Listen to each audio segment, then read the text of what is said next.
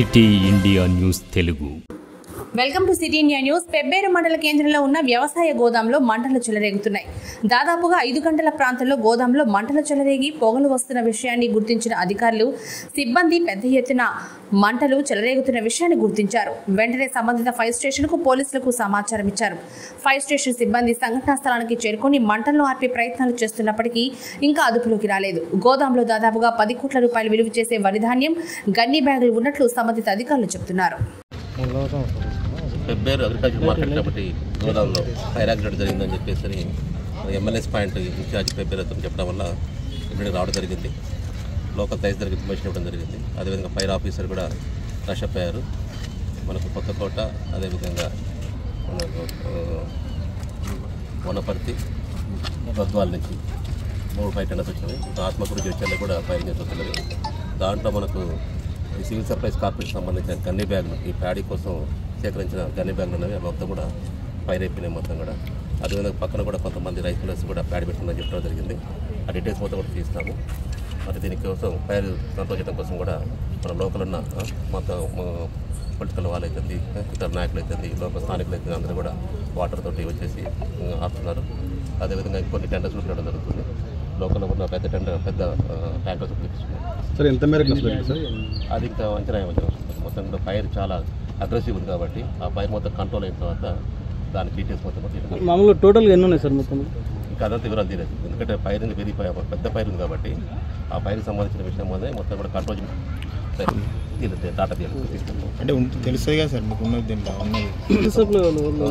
మొత్తం పది లక్షల వరకు ఉండొచ్చు మొత్తం పెద్ద పెద్ద ట్యాబ్ కాబట్టి పది లక్షల పైబడే పైబడే ఉంటుంది. గోడంలో ఫైర్ అవుతుందని కంట్రోల్ రూమ్ హైదరాబాద్ ద్వారా మాకు ఇంటిమేషన్ రావాల్సింది. వచ్చింది. కొత్తకోట ఫైర్ ఆఫీసర్ నేను. ఫైర్ అవుతున్న నా కొత్తకోట వెహికల్తో పాటుగా వన్ ఫోర్టీ ఫైర్ ఇంజన్ అదేవిధంగా గద్వాలను మూడు వర్క్ చేసినాం. మళ్ళీ ఇప్పుడు ఇంకా అడిషనల్గా ఆత్మకూర్తి జడ్చర్లను కూడా పిలుచుకుంటున్నాం సార్ ఇప్పుడు ఇక్కడ గన్ని బ్యాగ్స్ ఉన్నాయి. ఓపెన్గా ప్లేస్ కావడం మనం ముందు పోవడానికి గోడలు కూలగొట్టడం వల్ల ఆక్సిజన్ అంటే గాలి ఎక్కువ వల్ల ఇంకా ఎక్కువ ఫ్లేమ్స్ వస్తున్నాయి. మొత్తానికి అయితే దాన్ని కంట్రోల్ చేయగలుగుతాము. ఇప్పుడు మా కంట్రోల్ చే అవుతుంది. దగ్గరలో ఇంకో గంట సేపట్లో కంట్రోల్ చేయగలుగుతాం. గన్ని బ్యాగ్స్ ఉన్నాయి రైస్ బ్యాగ్స్ ఉన్నాయి అన్న. సార్ లోపలికి వెళ్ళలే. ఫ్లేమ్స్ వస్తున్నాయి బాగా. మంటలు ఉండడం వల్ల లోపలికి వెళ్ళలేదు. తదుపరి మంటలు ఆర్పుతుంటే మీకు సమాచారం ఇవ్వగలుగుతాం. సార్ ధాన్యం ఏడు వరకు మేము చూడలే కదా సార్ లోపలికి. ఇక్కడ లోకల్ ఆఫీసర్ అంటే మార్కెట్ యార్డ్ సంబంధించిన వాళ్ళు అడిగితే ఎంతవరకు స్టాక్ వేసారు ఏముందని తెలుస్తుంది సార్. మేము వచ్చిన కానీ ఇటు ఫైర్ ఎక్కడ ఫైర్ అవుతుందంటే ఇటు సైడ్ రమ్మంటే ఇటు సైడ్ అటు సైడ్ రమ్మంటే అటు సైడ్ వెళ్తూ మేము వాటర్ సప్లై వాటర్ కొడుతూ స్ప్రే చేస్తూ ఉన్నాం సార్. అంటే అవి కూడా ఏమైనా వ్యాపించినాయి? దానిలోకి ఏం లేదా? దేనికి? ఆ, వడ్ల సంచి ఇప్పుడు గోడౌన్ రూమ్ వైజ్ ఉన్నాయండి. అవి అంటే ఏమంటారు పార్టిషన్ చేసి ఉన్నాయి. అరవలుగా ఉన్నాయి. ఉమ్, ఉమ్. ఆ కాబట్టి ఒక్కొక్కటి మొత్తానికి ఒక్కోదానికి ఒకటి అన్నిటికీ అంటుకుంది. మరి చివరి దానికి ఒకటి అంటుకోలేదు. మిగతా మరి దేంట్లో ఏమున్నాయి అనేది అంటుంది కదా మీరు అందరూ చూస్తూనే ఉన్నారు. ఒడ్లు ఉన్నాయి గన్ని బ్యాగ్స్ ఉన్నాయి ఒడ్ల బ్యాగ్స్ అనేది ఫ్లేమ్స్ వస్తున్నాయి కాబట్టి ఇప్పుడు ఇంకా ఏదైనా సరిగా చూడాలి చెప్పలేము మీకు. ఈ మంటలు ఎట్లా వ్యాపించుంటుంటారు సార్? ఇది మరి ప్రస్తుతానికి అయితే షార్ట్ సర్క్యూట్ అయ్యి ఉండొచ్చు అని అనుకుంటున్నారు సార్. అంటే కరెంట్ లేదు అంటున్నారు సార్ కరెంటు కనెక్షన్ లేదు అని చెప్పని అంటున్నారు. ప్రస్తుతానికి అయితే ఫ్లేమ్స్ మంటలు స్టార్ట్ అయినాకనే మాకు పిలిచారు. మేము వచ్చేసరికి అయితే మంతున్నాయి సార్. జేసీబీ సహాయంతో గోడలు కట్ చేసేసి లోపలికి వెళ్ళి వాటర్ స్ప్రే చేస్తూ మండల అదుపులోకి తీసుకొస్తానికి ప్రయత్నిస్తున్నాం సార్.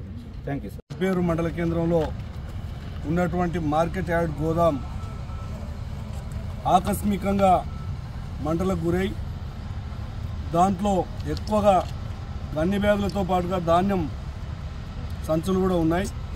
దాదాపుగా ప్రభుత్వానికి సంబంధించినటువంటి అధికారులు అందరూ కూడా అప్రమత్తమై ఇక్కడ ఉండేటువంటి పెబ్బేరు మండల పార్టీ అధ్యక్షులు పట్టణాధ్యక్షులు తర్వాత నేను అధికారులకు సహకారం అందిస్తూ ఇప్పుడే ఈ ప్రాంతంలో ఉండేటువంటి ఏబీడీ ఫ్యాక్టరీ నుంచి కూడా నీళ్ళ ట్యాంకర్స్ ఇవ్వాలని చెప్పేసి డిమాండ్ చేయడం జరిగింది. ఖచ్చితంగా మిగిలిపోయిన ధాన్యం ఏదైతే ఉందో దాన్ని కాపాడమే కాకుండా వాస్తవంగా లోపలికి వెళ్ళి అక్కడ చూస్తే మధ్య మధ్యలో అరల మాదిరి వాళ్ళు ఉన్నాయి. మరి కరెంటు లేదంటున్నారు. ఆ సంఘటన చూస్తూ ఉంటే అనుమానం కూడా వస్తూ ఉంది కొంతమందికి. ఖచ్చితంగా ప్రభుత్వ పెద్దల దృష్టికి మేము కూడా తీసుకెళ్తాం.